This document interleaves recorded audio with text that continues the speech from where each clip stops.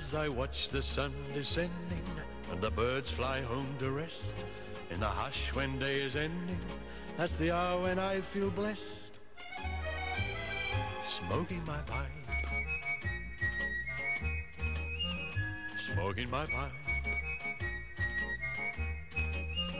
Like a whisper through the cornfield comes a gentle evening breeze. At the doorway of my cottage I recall old memories. Smoking my pipe. Smoking my pipe. Those far off places beyond the blue.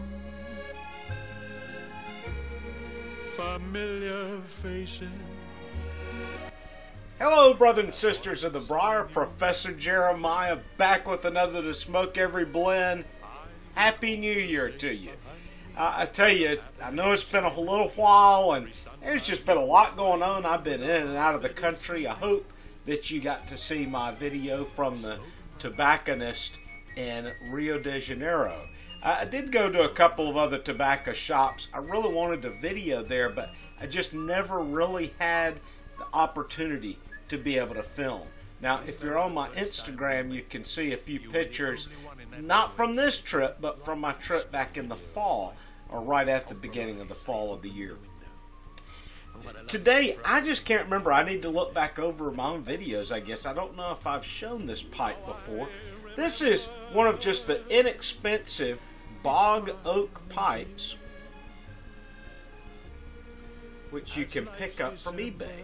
And I'm going to put a link, if, if this gentleman's still selling on eBay, I'll put a link down in the bucket below to their pipes. They're really not that expensive, and you know, for a long time I wanted uh, a bog oak pipe. I, I wanted to have just the experience of smoking one. And I didn't know what I would get. You know, some people raved about it. Some people don't like them because they uh, would end up giving them problems. And you never know. You don't know what you're going to get out of a piece of wood.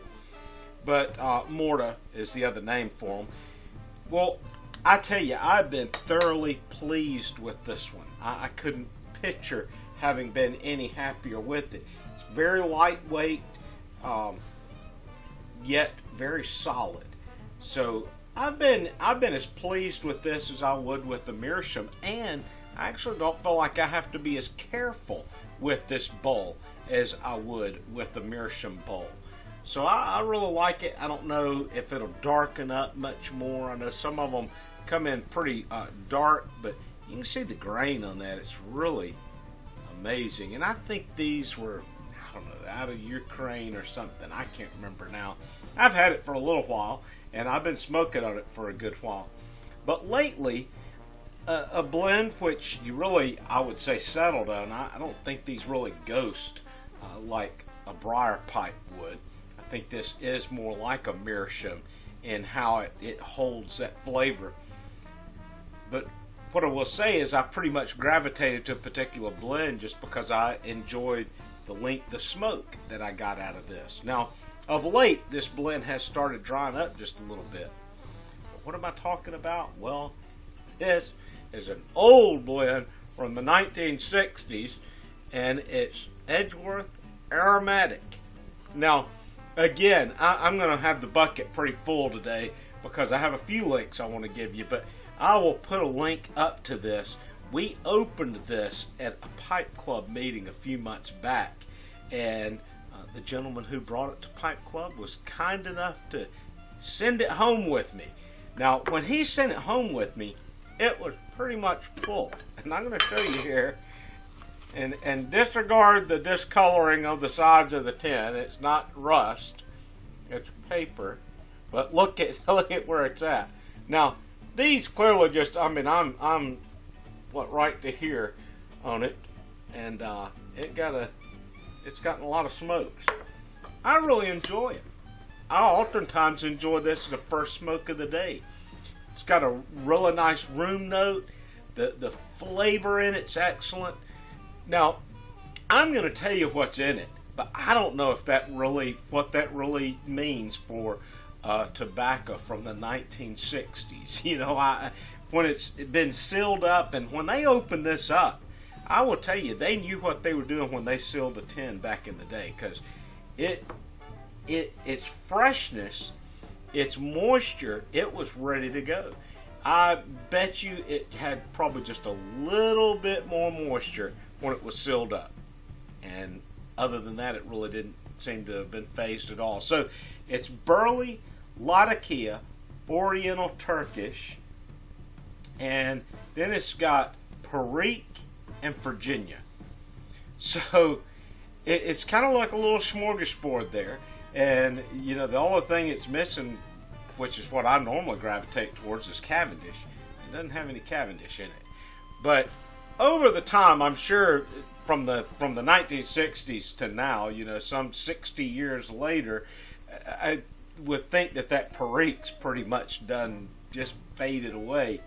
Sure, it adds a little bit, but this is this is a unique flavor, and I know to smoke every blend, it's like, well, he's talking about something I can't even get. Well, you never know. I, I just want to give you some hope for when you find those old sealed tins from the 60s and the 70s. You may have a treasure, and I think it's worth the risk uh, because who would have thought that this tin still would have been that good? Now it had the key on the bottom, uh, opened like an old sardine can. And if you watch the video, I'm going to put a link to, you will see uh, that being opened up. The video's on another person's channel, so that's why I'm not splicing it in right here. But I went out and, and I got the match for this. It's a Sutliff, but it says Ready Rub match. And yet, the more I looked into it, I believe this was a whole nother uh, Edgeworth tobacco that it came in like a blue or kind of a teal colored tin. Maybe it was blue when it started out and turned teal later. So I don't think that this match was really for the Edgeworth aromatic. The match blend, and maybe I will come back and do a separate review on it. it I, you're supposed to get cocoa out of it. I got coconut a little bit out of it, but that was that was me. So so this blend, what I'm I mean I don't I'm almost at a loss for how to describe it. It's it's kind of like a roasted or toasted nut flavor, and it's it is standalone. I, I have not really experienced this particular flavor before in any other tobacco.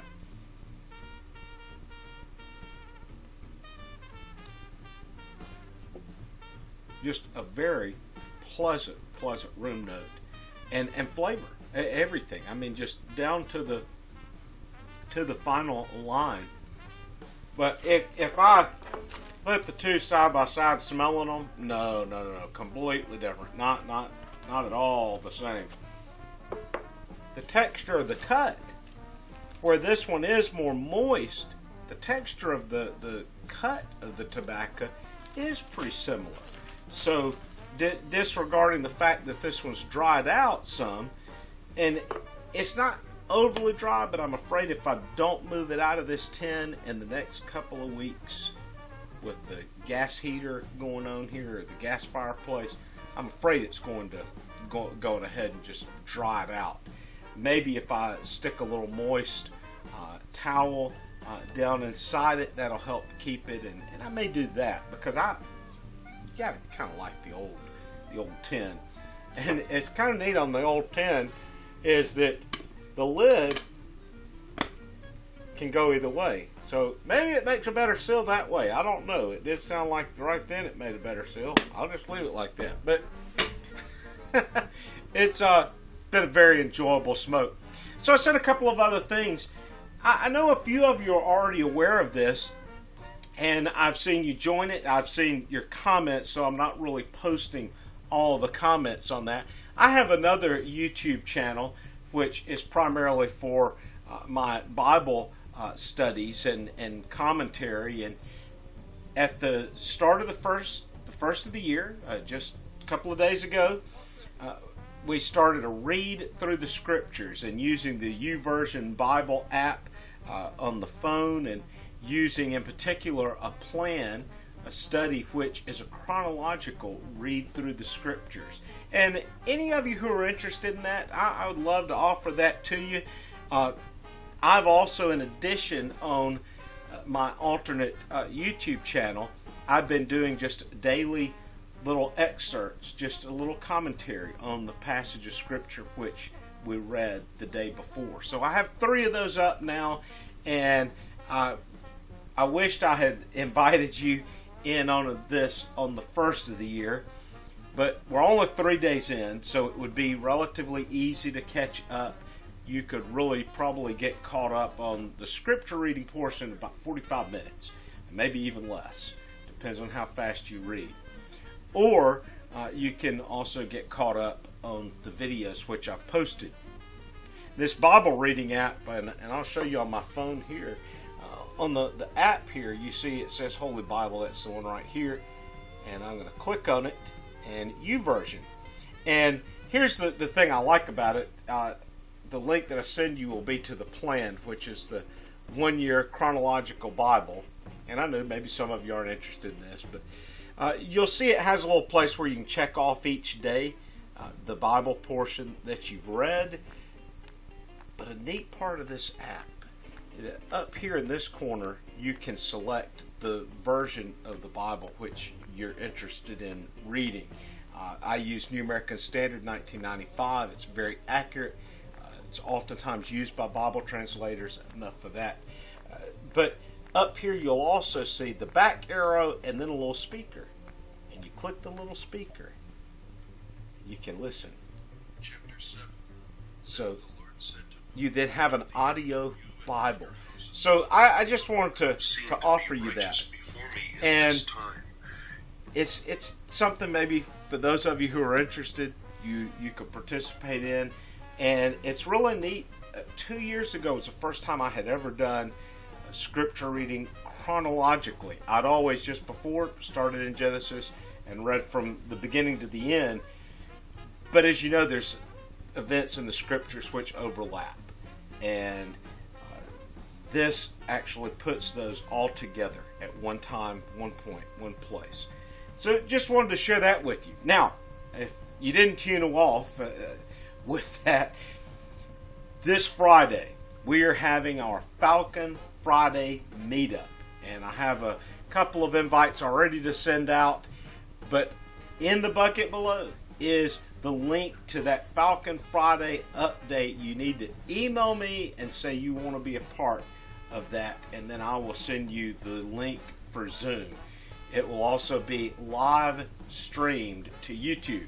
So if you say, Well, I can't join the Zoom meeting, then you can at least join us in the chat room or watch it later.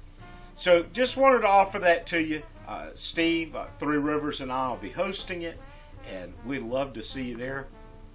Brothers and sisters, don't be afraid of old tobacco tins.